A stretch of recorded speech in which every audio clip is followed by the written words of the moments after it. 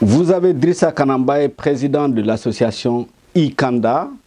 Je vous invite massivement à liker la page Africa Asso pour qu'on puisse enfin créer une vraie dynamique et aider, en tout cas contribuer au développement euh, de l'Afrique.